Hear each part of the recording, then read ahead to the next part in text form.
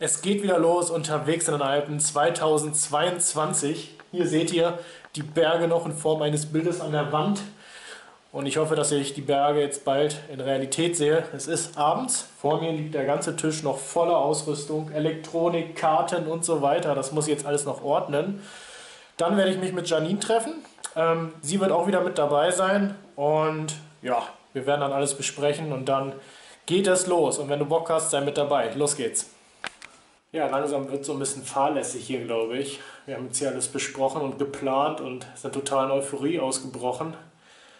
Haben jetzt hier noch die restlichen Sachen eingepackt und haben jetzt quasi vor, loszufahren. Ähm, es geht nach Südtirol, wo wir heute ankommen werden, ist noch unklar. Aber wir wollen jetzt los. Ja, los geht's. Wir laden das Auto unterwegs in den Alpen 2022 startet jetzt um 22 Uhr 23.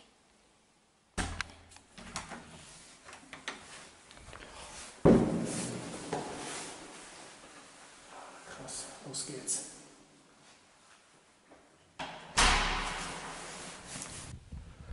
Hier nochmal auf der Seite der Laderaum.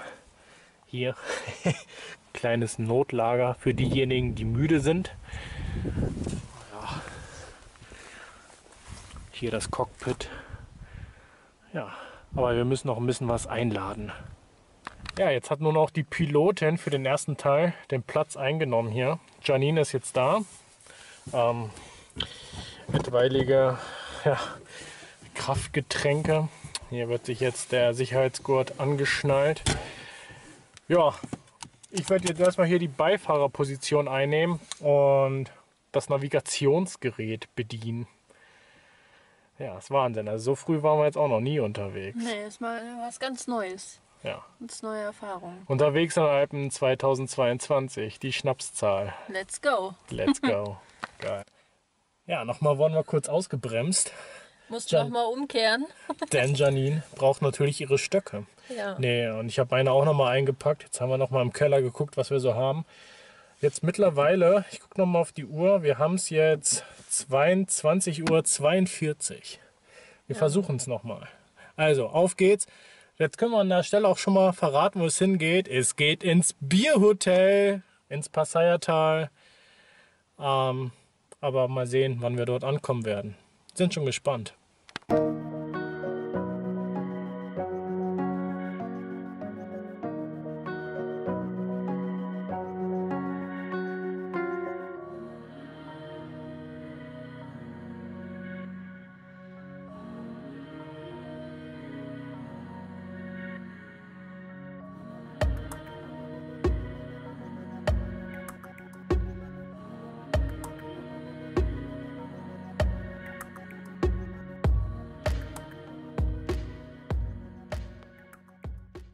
Kurzer Zwischenbericht.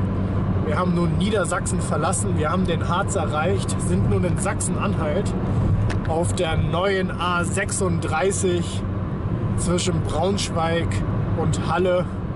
Nun schon auf der Seite von Sachsen-Anhalt. Langsam ist es nun im wahrsten Sinne des Wortes 5 vor 12. Ja, kurz vor Halle sind wir jetzt immer noch auf der berühmten neuen A36. Und langsam fragt man sich so, ist das so eine schlaue Idee gewesen, jetzt doch am Abend noch loszufahren? Die Straßen unfassbar leer, ist natürlich angenehm zum Fahren. Doch das Navi, das zeigt ja, irgendwie unverändert acht Stunden an. Es nimmt nicht wirklich ab. Ähm, aber wir haben auch schon beschlossen, dass wir dem Navigationssystem nicht so sehr trauen. Ja. Was sagst du dazu? Es hat uns schon öfter in die Irre geführt, tatsächlich. Letztes Jahr Letztes Jahr große Terrortour sozusagen. über drei Pässe. Aber äh, ja, wir werden mal sehen, was jetzt passiert. In zweieinhalb Kilometer müssen wir abfahren. Also gucken. Da wechseln wir wahrscheinlich die Autobahn das erste Mal jetzt hier. Ja, sehr genial bisher. Erster kurzer Halt auf unserer Reise hier. sind jetzt bereits auf der A14, kurz vor Halle. Ja, mal kurz die Beine vertreten auf diesem wunderschönen Platz hier.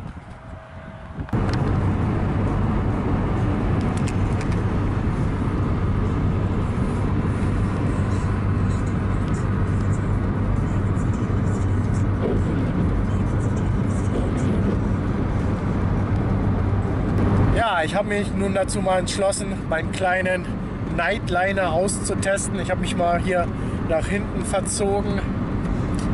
Ja, und es ist einfach genial. Es hat so ein bisschen was von kleinem Mikrocamper. Hätte gar nicht gedacht, dass das hier in meine kleine Karre alles so reinpasst. So ein kleiner Ruhebereich quasi. Und ja, den können wir jetzt so entsprechend nutzen, wie wir das möchten. Jeder, der mal eine kleine Pause braucht, kann diesen Bereich hier jetzt nun richtig entspannt nutzen. Richtig genial. Ja, ein Gefühl von Freiheit. Auch wenn es nur ein kleines ist, aber wirklich großartig. 1.48 Uhr. Ja, wir sind jetzt hier am Rand Himmelsleiche, regnet.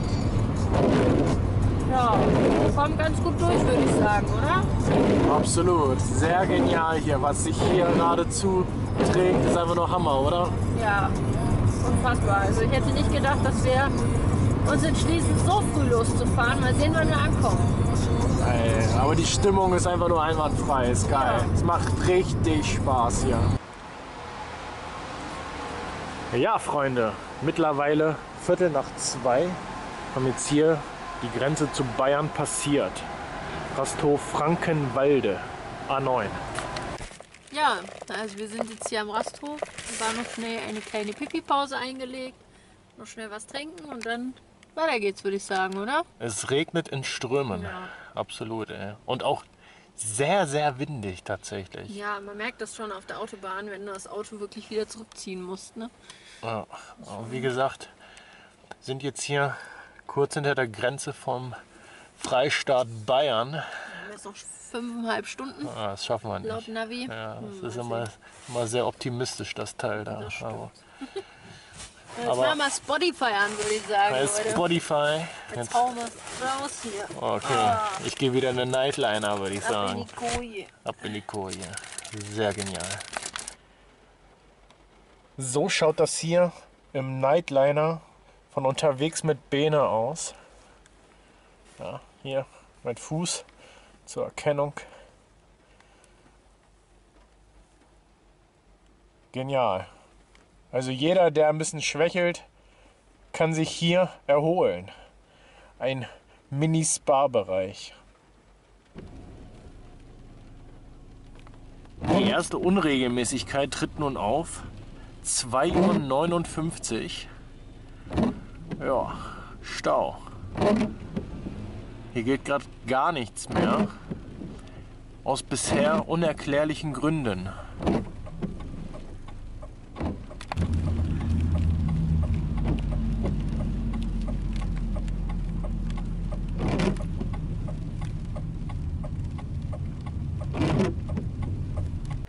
Ja, also wir haben jetzt das Auto ausgemacht.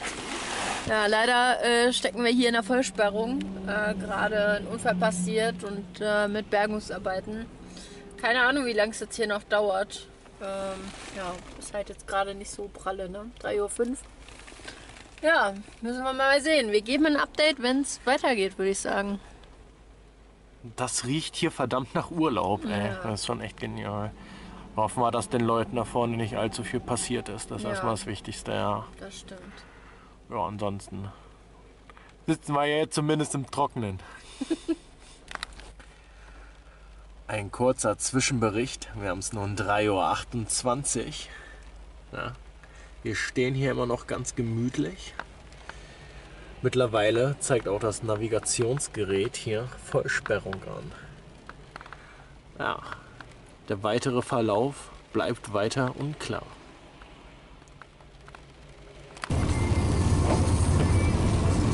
Wir haben es jetzt kurz vor vier und es rollt wieder. Mitten hier auf der 9 in Bayern.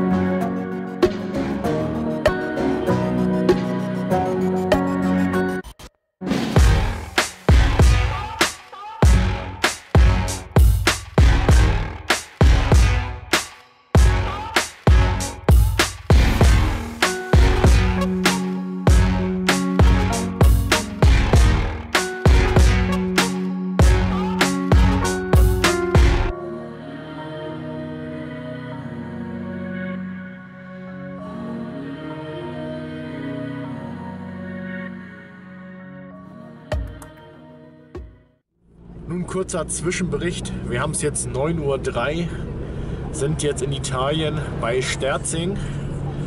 Ja, und jetzt steht uns noch ein schöner Pass bevor. Ja, der Jaufenpass freut sich schon.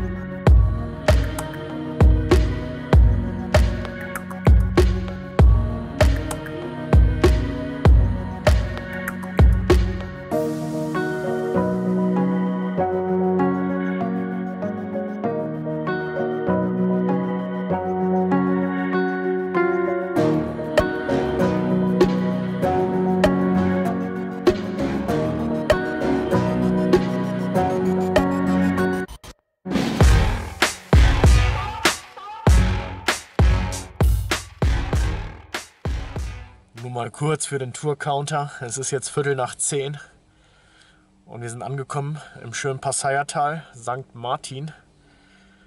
Und Janine ist gerade sofort hier in die Bude gesprintet. Die musste unglaublich mal pinkeln. Und ja, ich bin immer noch so ein bisschen am Verarbeiten.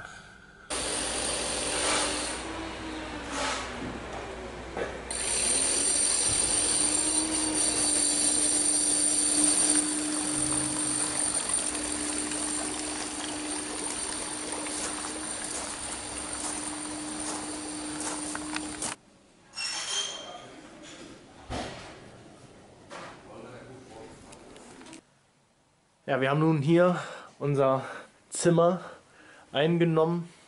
Ja, es ist sehr, sehr schön, das muss man schon so sagen. Und wir haben auch mega Glück, muss man auch an der Stelle sagen, dass wir jetzt hier schon rein können. Ja, wir haben es jetzt irgendwie, ich weiß nicht, halb elf, elf, ganze Nacht durchgefahren. Wir haben schon das Zimmer inspiziert. Muss mal ins Bad gucken, das sieht mega aus. Ja, guck mal her, gehen wir nochmal hier, mal eine richtige Roomtour hier. Boah. Wahnsinn. Ja, womit haben wir das verdient? Nach der Fahrt aber eigentlich auf jeden Fall. Jetzt lassen wir hier gleich alles so dunkel. Wir sind fix und fertig. Boah. Na, wir Mal melden. kannst du sogar beim Duschen zugucken. Ah, siehst du hier so ein richtiges Aquarium. Wir haben uns jetzt erstmal ins Bett geknallt und haben, weiß ich nicht, von 12 bis um 17 Uhr erstmal geschlafen.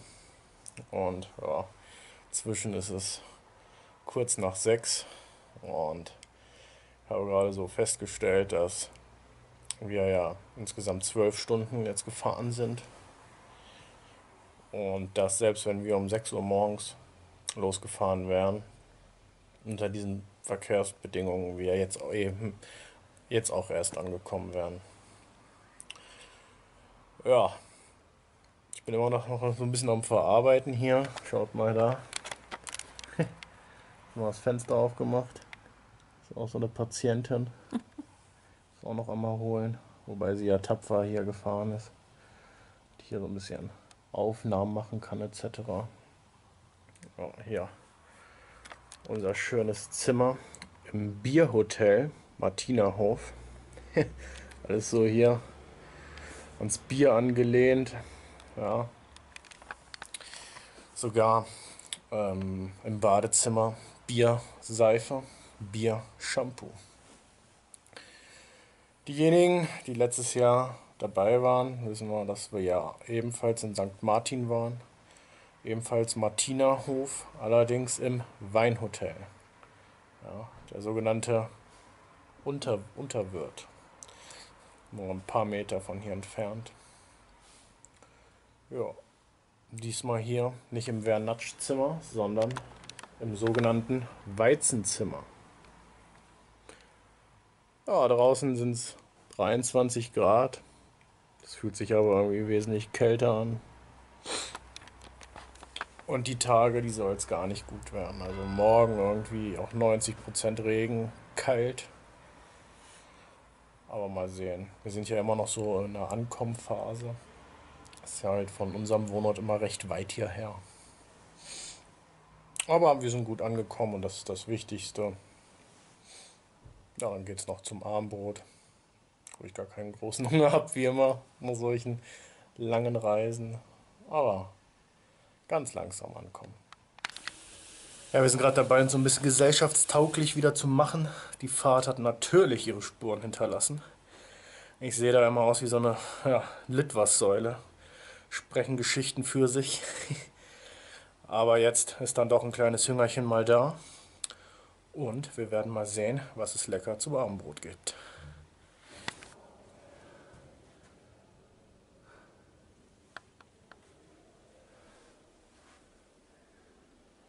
Ja, hier noch Hopfingen 109.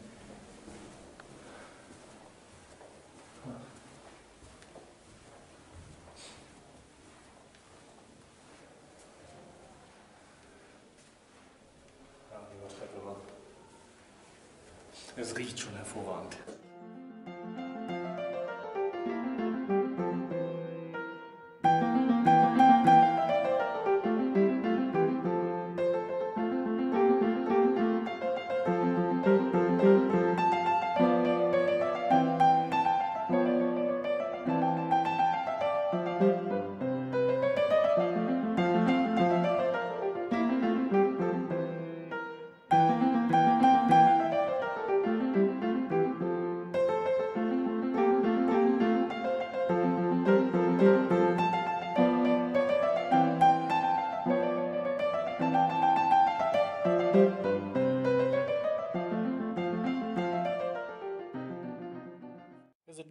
Zimmer, gut gesättigt und haben uns gerade schon eigentlich so gut wie entschlossen, nochmal rauszugehen. Bisschen Beine vertreten, frische Luft schnappen. Denn leider, wie so oft, ist mir wieder ordentlich flau im Magen. Ich habe das, das irgendwie schon länger, dass ich immer, wenn ich so reise, gerade so am ersten Tag, dass ich da wie so eine Art Reiseübelkeit entwickle. Das ist immer nur so der erste Tag, der erste Abend. Aber Hunger hatte ich trotzdem und das Essen war auch sehr lecker. Und ja, ich habe mir vorsichtshalber nochmal einen Kamillentee mit hochgenommen jetzt hier. Und noch ein bisschen gute Bergluft jetzt hier zum Abend. Nur, noch, nur eine kleine Runde. Mal sehen. Wie gesagt, wir waren jetzt nochmal draußen. Haben auch mal ein paar Sachen aus dem Auto ausgeladen. Deswegen habe ich jetzt die Kamera auch nicht mitgenommen. Meine Hände voll. Hier haben wir so ein paar Impressionen unserer Unterkunft. Ja, kannst du auch mal sagen, das war ja heute echt ein Ritt. Ja, Äh, Die sieht man es aber auch ordentlich an. Uiuiui. naja, es ist halt schon immer sehr weit bis von uns bis dorthin, ne? Und zwölf Stunden Fahrt. Das schlaucht ganz schon ganz schön, dann noch durch die Nacht fahren. Aber letztendlich sind wir hier, wir können es genießen. Gibt jetzt morgen richtig schön, freue mich schon aufs Frühstück, richtig schön mit Speck und ja, freilaufende Kaninchen haben wir gesehen gerade. Ja, also es ist wirklich sehr naturnah und ich freue mich schon auf unsere Touren. Mal sehen, was wir machen werden. Genau. Ich denke, besser kann ich jetzt den Tag auch nicht zu Ende bringen.